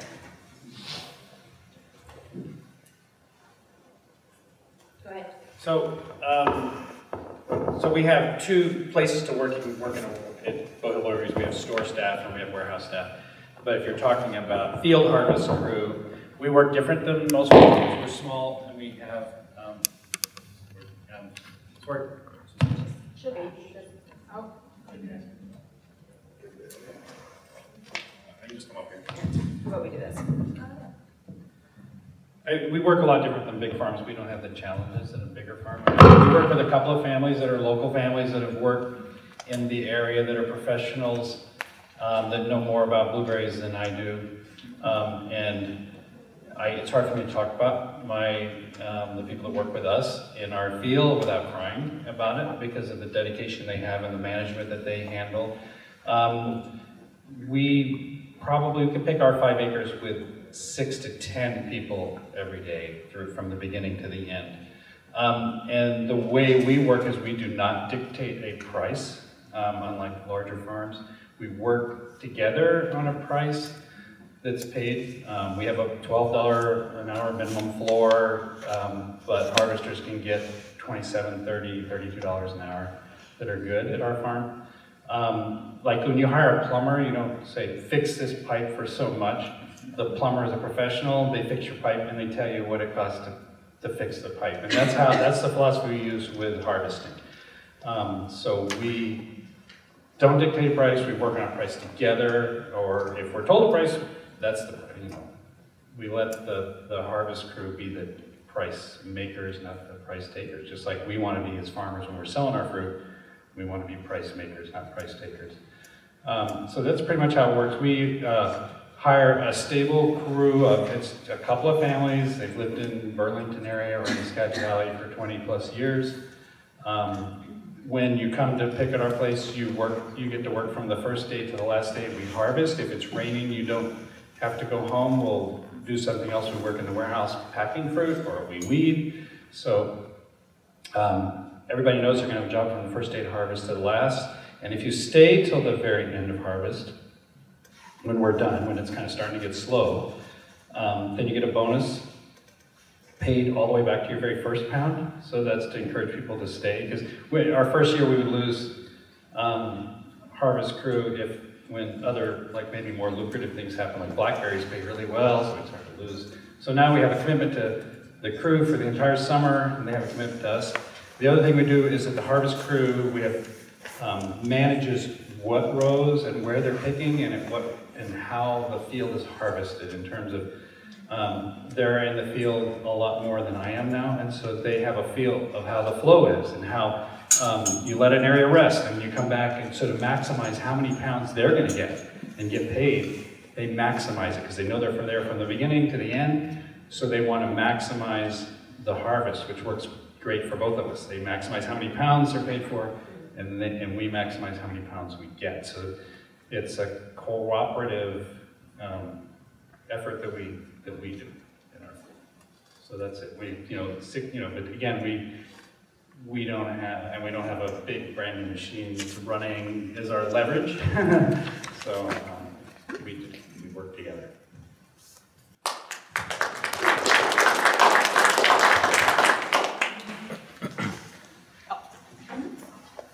Yeah, I don't need a mic. This is for Adrienne. Uh, when you said that you've talked to people who say, I don't believe in change, system change. And I'm trying to think what that system change might be, and I'm thinking back to Butz, Nixon's Secretary of Agriculture, whose mantra was, get bigger, get out. And so that seems to me like the system we've had in this country probably since the Civil War. People have gotten bigger and farms have gotten bigger and there have been fewer and fewer farmers per acre, and, and that's our system. So what alternative is there for people's belief in, in, in this way? If I don't believe in system change, what, you know, what, what am I thinking about? I don't, that's, if you don't believe in system change, what do you think about, that was my question back to them. Yeah. Uh, I think what I'd heard back, because it was a conversation, um, was I, you can just, it's band-aiding the problem. Like if we're looking at hunger, that we can't change the issue of the hunger that we're having and the, um, and so it was more like, I just need to make sure, they need, you know, somebody would just need to make sure that they're providing food to all the locations where people are hungry. Or if you look at our homeless situation, so the answer, I'm not sure because I can't see beyond the fact that I think that we can interrupt systems.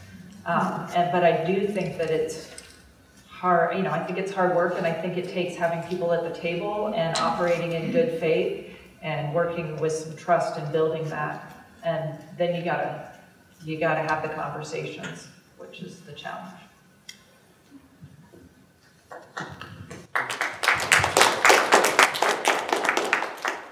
Um, so this is a question for Ann. Um, pardon me if I get one or two of the words wrong, but I think, but I think I have the gist. So other parts of the country uh, use reservoirs to retain water.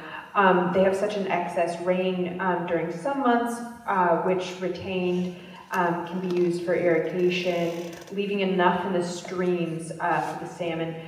Why not here? Wonder what, what we're thinking about. California? No.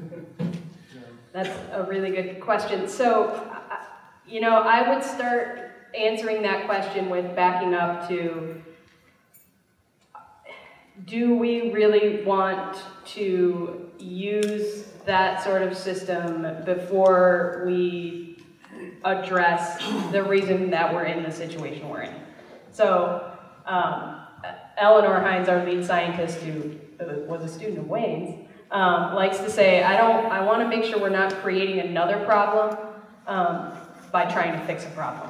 So storage, uh, off-channel storage, it's sometimes called, is, is a, a good idea, um, but I don't want to jump all the way to that um, yet. Like I said, our challenges are, and, and our challenges will get increasingly worse, it's true, with climate change. And so that might be a place that we end up. But our challenge right now is that we don't have enough water when we need it most, which is, um, you know, two to three months a year is, is when the peak of that problem hits. Uh, and, and there's a lot of reasons that is. One is climate change. One is we don't know how much water we're using. Um, a, a lot of our irrigation wells don't have meters on them. A lot of our uh, wells, rural wells outside of like the city of Bellingham and the cities also don't have meters on them. And we don't actually even have, and we're in the process of finding out how much water we have. So we're not, we don't have really good data on how much water we use. We don't have really good data yet on how much water we have.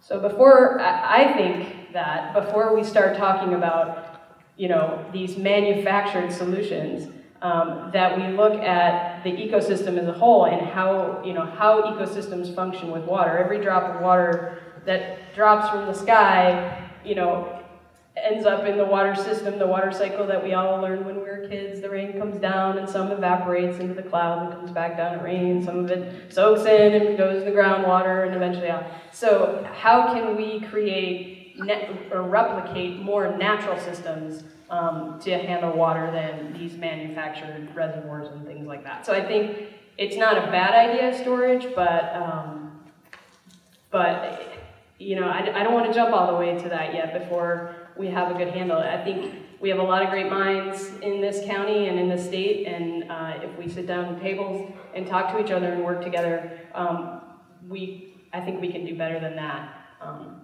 and we might end up there, you know, 20 years down the road, but, um, and you know, the other thing about water quantity is, um, you know, everything's connected. So how we choose to engage in our local food system and how we make choices about who we buy food from and uh, who we support, that makes a difference in water quantity. So no, diversify crops, use less water than, than larger kind of um, monocrops. Uh, we need to look at our water laws. Uh, right now, well, as of Friday, um, a, a, rural domestic well in the county can use up to 5,000 gallons a day. Uh, that's a lot of water. Uh, you know, is that really necessary? So just looking at all these little pieces and connecting them all um, before we jump to manufactured solutions, I think is a better way to go and better for the food system.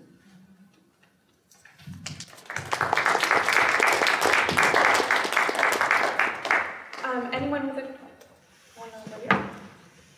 Yell. I just wanted to ask Ramon if there is anything specific that the general community can do to support the work that you're doing with the farm workers and the union. Bueno, este año Bueno, primeramente me gustaría darle un aplauso al señor otra vez. Uh, I wanted to give a round of applause to the, the gentleman at the end. Por favor, para un poquito.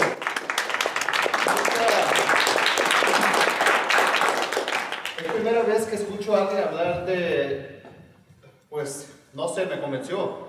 Uh, I, it was the first time I've heard somebody talk like that, and he convinced me. Y es una forma de expresarse en la que sí se puede. It's a, way of, saying or thinking that things are possible. That yes, we can. Aquí es un ejemplo de una granja que no es tan grande. This is an example of a, a small farm. Puede mantener 16 acres, puede mantener un proceso de un negocio It, it, it can sustain the six acres, and it can sustain as a business y orgánico, and organic sin tener la necesidad de infectar o envenenar a nuestros trabajadores. without uh, the need or having to uh, uh, poison our workers. Entonces no pienso que haya una excusa para una granja más grande, con más dinero, más recursos, de no poder hacer algo orgánico. So there's no excuse for a big farm with more resources, more money to not do the same as they're doing. Por eso doy las gracias por explicarnos un poquito. So I want to thank them for uh, explaining a little bit, También estoy entendiendo un poco de qué es el sistema.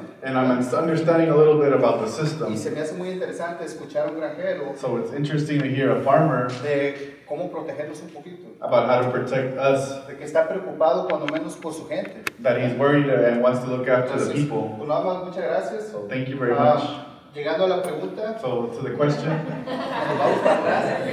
Este, bueno, va a haber muchas oportunidades so there'll be very a lot of opportunities. este, para que la comunidad se envuelva este año. So community, so the community can get Yo involved. creo que todos sabemos de que vamos a empezar a boicotear esta compañía de.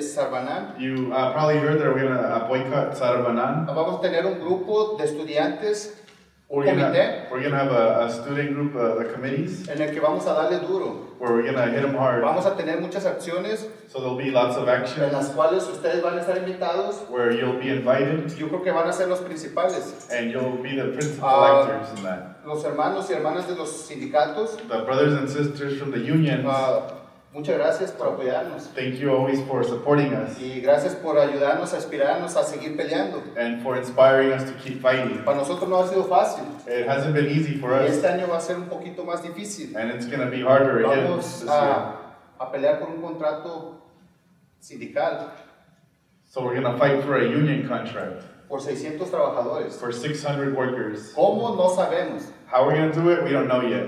Eso es- vamos a esperar ayuda de la comunidad, That's why we're gonna wait for the help of the community haciendo acciones to keep doing actions y pues promulgando o accediendo a los beneficios o a los accesos que ocupamos como trabajadores domésticos. and to keep fighting for all the benefits and the, the, the, the resources we need as uh, local workers. Y una, algo muy importante que se me, se me olvidó es An important thing that I forgot to mention, gracias por ayudarnos a proteger nuestros trabajadores. so thank you for helping protect our workers. Pero hay algo más que eso, nuestra dignidad. So there's something more than that, and it's our dignity. Este trabajo que yo he tomado por estos años me ha ayudado a entender un poquito más So this job that I have taken on has uh, allowed me to understand more, y pienso que a ustedes también, and I think also como parte you. de la comunidad.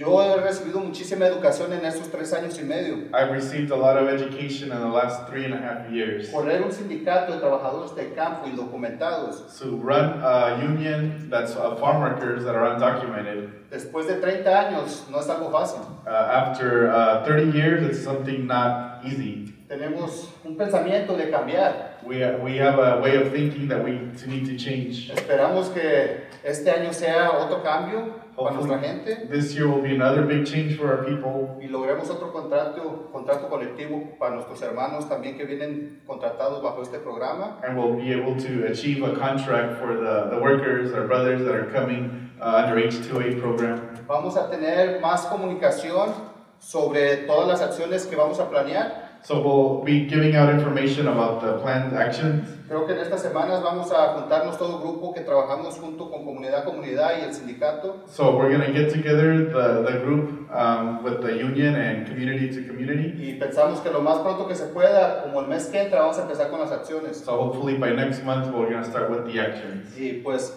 Gracias. So thank you. Y sí se puede. Sí se puede. ¡Se puede! ¡Se puede! ¡Se puede! ¡Se puede! ¡Se puede! Muchísimas gracias.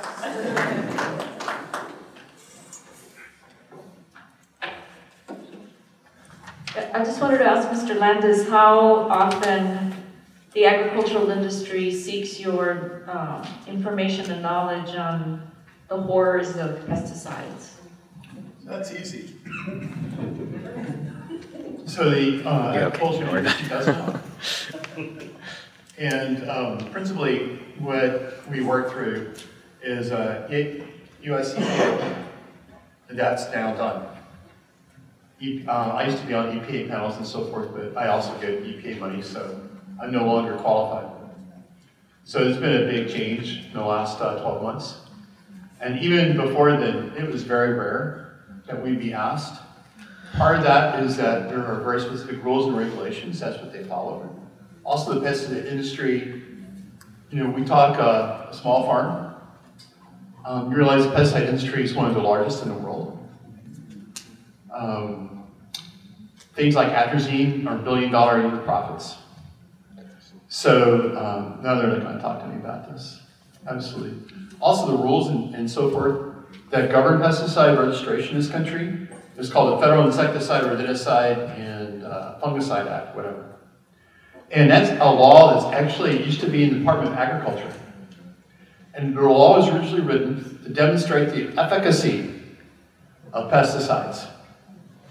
And uh, all the agencies at EPA, I would say it's been the one that changed the least since 1970. It's a very, uh, yeah, I should probably just stop there.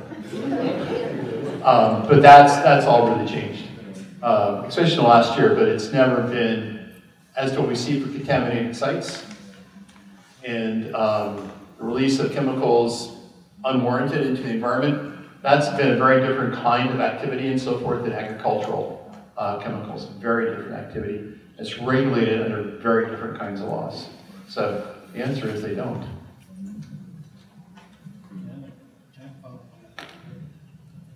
Yeah, and, and I go to a lot of conferences, so I, if you go to an organic conference, they wouldn't have, because they don't use the stuff, so they're not interested. But if you go to a conventional conference or a mixed conference, there is, again, no discussion of Yeah. the effects of pesticides. It's- it- The, the, the presentations are strictly about, this is what you use and this is when you spray it. Oh, wait a To, minute. to kill this bug. One thing we weren't clear about, I took the context as to mean the United States. It's very different in Europe. Very different sets of rules. Uh, some of the chemicals like atrazine, which are banned in Europe, are used extensively in the United States. Uh, the decision-making process is very different. It's um, just like the agricultural industry in Europe is very different than it tends to be in the United States. So when they ask me, I'm in Europe, not the United States. It's very different. And it also bothers me a little bit the organic farmers don't ask because it's like their, their crops aren't exposed to pesticides. Of course they are. Uh, it goes down the water, goes through the air. Uh, herbicides sometimes can be transported uh, very long distances. Uh, but it's kind of, you know, out of sight, out of mind. And uh, the other thing is I can't train my students fast enough, you know? We, we have a lot of people like Eleanor who actually work in, in the local community. I have students all over, all over North America, but we can only produce so many. And I think it's still, people have this huge reluctance to think about what's actually environment. Anyone here ever read Silent Spring? Yeah, it's not an ecology book, it's a pesticide book, isn't it? It's a toxicology book. Yeah, and we're way beyond DDT as far as the new issues and so forth. So it's, it's a, these are interesting times, and uh, the most interesting in my 40-year career. So um, that's a longer answer, but I think I think you got the gist of it.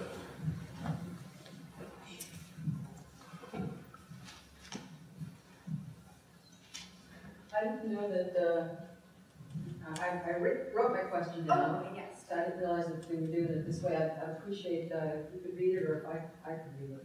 Um, is it not the one? That we, the, about reservoirs? No. No?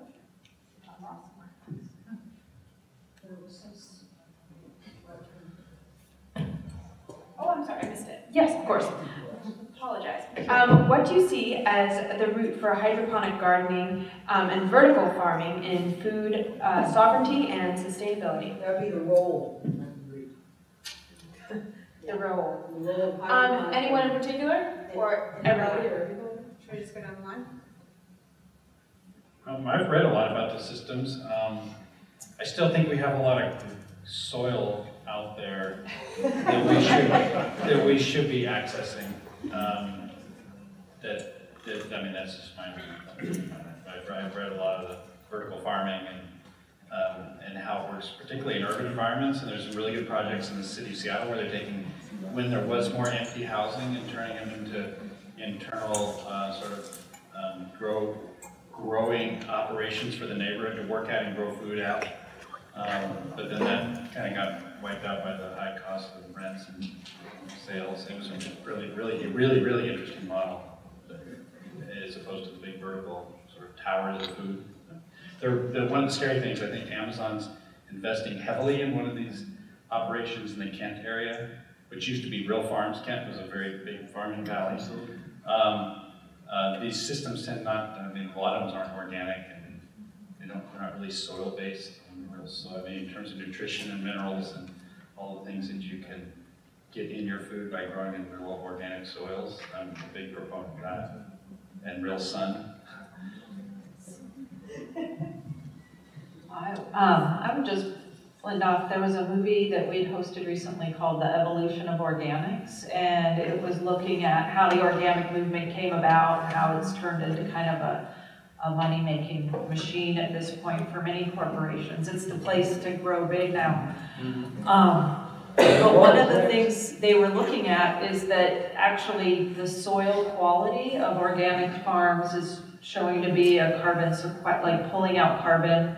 And so they were trying to tie it into the global warming and, and how to actually bring up our soils as a way of um, working on that issue as well. So there's another case to be made for just continuing in that. I think that can, I, that's a topic I just don't know enough about. I think there was also some um, regulation regarding organics that came up recently for hydroponic or what qualifies as organic and that it needs to kind of go through some type of vetting so that it doesn't get looped in by some corporation that sees it as an opportunity to buy into natural without actually having the regulation. Thoughts? Yeah, I, I had a thought. So, so, um, you guys know what life cycle assessment is? Yeah, it's actually when you have a question like this and you actually go through, you start assessing all the inputs and the outputs. Well, I'd like to see some of that. Um, are you going, why would you say, I like math. You know, it's kind of like the kid who thought doing calculation was cool. I'm a pilot. We actually think math's really useful. Um, especially if you're burning so much fuel, you're going over the mountains and you really don't want to run out. All that kind of stuff's really useful. So when you do hydroponics as opposed to conventional farming, what is to do life cycle assessment of the nutrients, of the water, of the other kinds of energy you're going to use? Uh, let's sit down and do the calculation. This is something I see a lot more happening in Europe. I think it's because the agriculture and the, the landscape is very different. I mean, you go to take a train ride through Germany and there's farms everywhere. All these little farms, the land, the land's very differently used. Um, and that's where you see most of this kind of assessment. You see relatively little here. What I see with the, doing this with energy really opens your eyes. Is how, what do we do with our energy? What's lost in transmission? Um, let's think about the water. What's a life cycle assessment? If you put in a, a built reservoir, as opposed to using other kinds of water storage. And just like you were saying, we can't really make a plan until we have the numbers. So I'd like to see what the numbers are. And let's do the calculation. It might be great, or it might have some trade-offs. And then it's a, it's a social decision. So often we're asked to make decisions without uh, information. Yeah. Or it might be complementary. Absolutely, but we don't know that yet. So let's, let's do the hard work, yeah.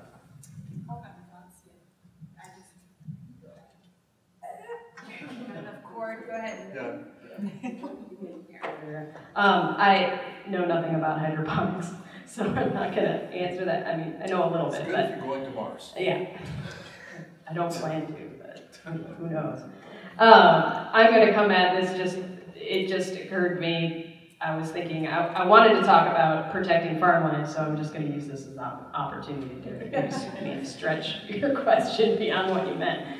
Um, but, uh, you know, part of having a quote-unquote sustainable food system is having land to grow food on, and part of having land to grow food on is protecting that land and its and its affordability, which is a whole other um, um, conversation. And we, and we do that, and part of the way we do that is to have dense urban areas, um, have people living close to services um, in dense urban areas. The the kicker with that is um, access to food, which is also part of a, a local sustainable food system, is, is people need access to food. Um, and people need to live in places that they want to live in. They, you know, we've got to make cities also desirable, desirable, affordable, and dense. Um, but they also need to act a little bit, if we can, like natural systems. So we need things like rain gardens, and we need things like trees and forests, because those help clean that stormwater we're talking about. Um, so I think having places where people can grow food in dense cities and as much as possible using some of that green infrastructure to be food um, can help uh, one make our cities places people want to live help uh, address access to uh, places to grow food by having community gardens and sometimes you know we're space challenged because we're trying to cram a lot of people in a city so things like vertical gardens things like uh, community gardens. They, they build community, they bring people together, they increase access to food, um, and those sorts of things are, are things we need to be pressing when we're thinking about land use, when we're engaging our city councils uh, to make sure they're creating space where, where people can grow food and have access to food. So kind of stretch it out.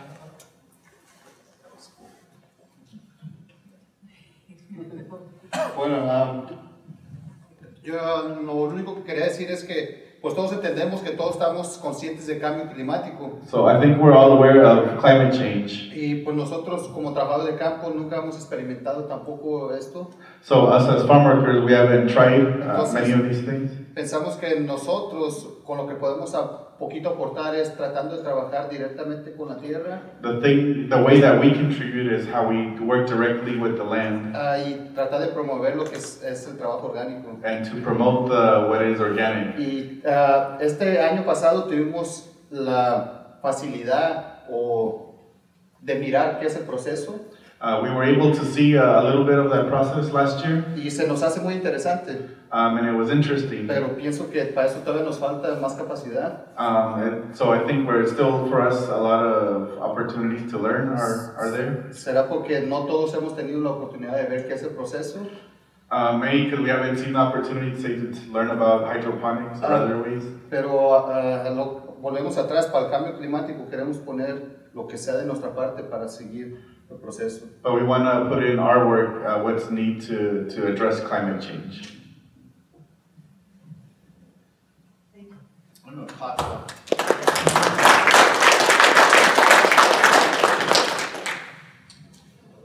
So I'm gonna just read out the one, the last question. It says, how do we engage the restaurants and other food distribution organizations, such as food banks and school systems in, in the food system discussion? Well, I guess we'll just have everybody. Oh, that was the one I. Oh. Yeah, I mean, the food still in the school systems isn't what it should be. And actually, in Whatcom County, there's one of the strongest um, group of people who are working on that, kind of- those systems of getting food, good food in the schools. The Bellingham Food Bank, um, like as a Puget Sound Food Hub, um, I used to be one of the managers there, and I see what kind of things are, are sold. And the, Bellingham Food Bank is one of the stars of buying local food, organic food, directly and paying prices that it's worth. It's not a donation system, they're, they're funded and they, they pay the going price. Um, they pay the same price that the, uh, the Bellingham co-ops uh, pay. They use the same pricing structure when they buy stuff from the Puget Sound Food Hub. So it's- up here, there's actually, it's a, you're, it's, it's kind of the dream county for, and the model for how those things would be done, because it's a real challenge in Skagit County, it's a real challenge in King County, where we're also trying to do some of those things with our farm and with the Puget Sound Food Hub.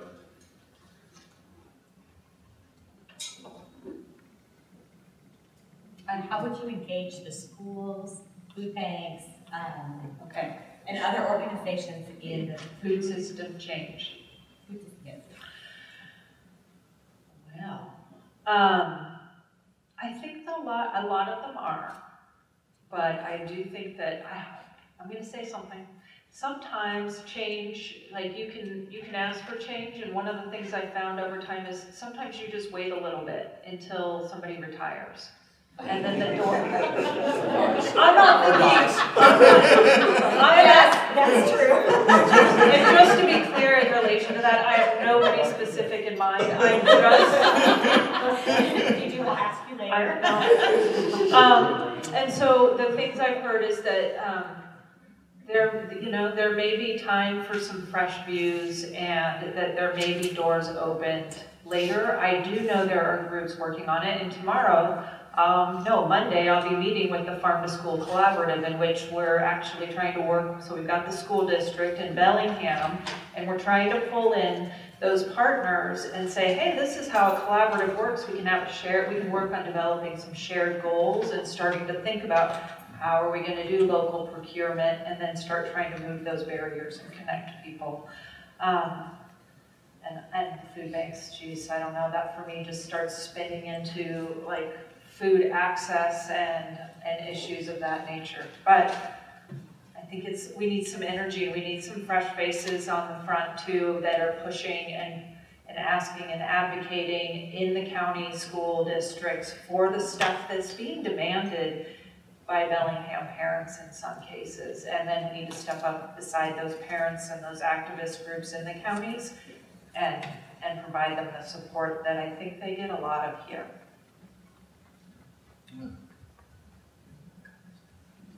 Um, I'm not gonna talk too much about this, but I'm gonna do the same thing I did with the last question. um, uh, so our U.S. Uh, farm policy really emphasizes and rewards export um, of food. And that plays out very much in Whatcom County. So there's, uh, the reason I bring that up is someone mentioned earlier, oh, it was Adrienne, you were talking about the, you know, the water we put on raspberries and the pesticides that we put on raspberries that our farm workers get exposed to. And then the raspberries leave here and we're left with, you know, that water being gone and those health challenges. So, so much of, uh, of the issues that we have around agriculture in this community are externalized costs. So, you know, you have pesticides that run off of fields into waterways, or you have manure that runs off of fields into waterways, and uh, and that the cost of addressing that pollution then leaves that farm um, and becomes a problem for our community. So, th all this is to say that uh, how who we choose to engage, where we choose to buy our food from, the restaurants that we choose to go to um, are you know our choices. And so I think part of the way we we change this is is to get educated as a community and to engage in policies and engage in um, all all of these points where we can influence changes in our local food system and, and get more local control of our local food system. So, um, I mean, I think there's definitely a place for the larger farms in Whatcom County, but there's also a lot of room for more local food, which, in, you know, creates more of a local market, which, you know, um, blah, blah, blah. Ramon probably has much better things to say.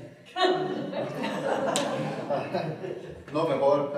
ah, pero sí tengo algo que decir. Um, I have something to say. Este, nosotros estamos trabajando en un plan ah, que va a terminar chance de aquí en 10 años. So we're working on a plan and hopefully we'll be able to develop it within 10 years. Ah, El plan es formar una economía local We want to form a, a local solidarity economy en la formación de cooperativas. with uh, the formation of cooperatives. Tenemos varios planes y ya estamos ah, en unos entrenamientos So we have lots of plans and we've already started some of the trainings en la que creemos que muchas organizaciones van a caber en este cambio. and where we think a lot of organizations can fit into this Yo change. pienso que muchos van a ser bancos de comida, restaurantes, todo lo que viene haciendo con frutas y verduras. A lot of it is, uh, you know, the food banks, the restaurants, uh, everything that has to do with fruits and vegetables. Chance ahorita no tenemos la capacidad para para carrear o, o arrimar a las organizaciones para que nos apoyen. Maybe right now we don't, we're not, we don't have the capability to uh, get all the organizations. Es por eso que estamos haciéndolo bajo comunidad, comunidad y familias unidas. That's why from it's Familias Unidas and community, community working together. Ahorita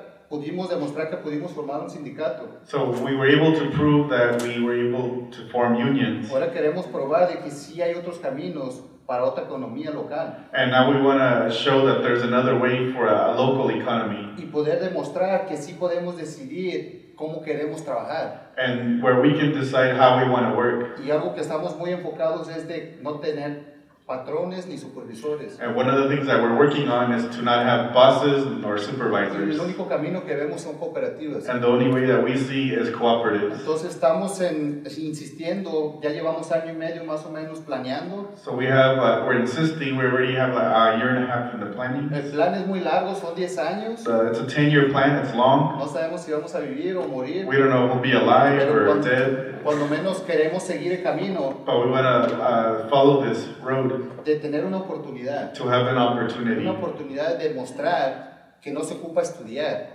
We want to show people that also you don't always have to study, que no se ocupa tener dedicación, that, dedicación, o que se ocupa, perdón, se ocupa tener dedicación. That you, all you need is dedication. Y ganas, and the will, ganas de cambiar. the will to change. Pensamos que esta comunidad tiene algo muy importante. We think that this community has something very important y podemos desenvolverlo juntos. and we can develop that together. Lo único que ocupamos es apoyo, The only thing that we need is support. apoyo para seguir trabajando juntos. The support to keep working together. Creo que es todo lo que voy a decir esta noche. And that's all I'll say tonight. Thank you.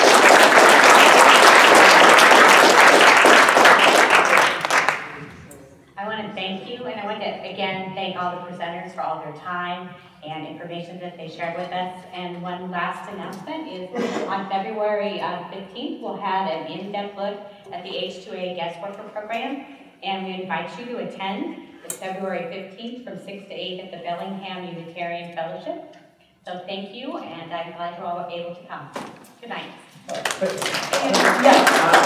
No, tenemos algo importante. Este, se me olvidó, pero esto es muy importante. Tenemos un tribunal de trabajadores de campo el So día I, 5, I forgot to mention, we have a farm workers tribunal on the 5th of February. 5 de febrero. Es muy importante que la comunidad de aquí vaya a apoyarnos. It's important that our community from here go support. Ah, vamos a tener muchos temas, lo que viene incluyendo este año lo que pasó en Sumas, So there'll be a lot of uh, issues, so including what happened in el Sumas problema que tenemos muy grande con nuestra compañera Maru and what's happening with Maru, y también vamos a hablar un poco de cómo nos fue en el sindicato este año. and also to talk about how our first, uh, uh, how it went with our union, primer ah, contrato colectivo. working under a union Pero contract. esperamos que nos puedan ayudar y va a ser el 5. Tenemos la información en Comunidad Comunidad y Familias Unidas. Hopefully you can uh, uh, join us, and there's information on Familias Unidas Facebook and C2C. And it's in Olympia, and I think there's flyers over here. Va a ser en Olimpia, pero tenemos información y los esperamos verlos. And hopefully we'll see you. And one final note is, uh, if you have uh, further questions, pass them to the front um, or give them to me or Michelle, and um, we'll make an effort to uh, ask people to answer them, and we'll put them on the Facebook page for this event. Thank you very much for coming.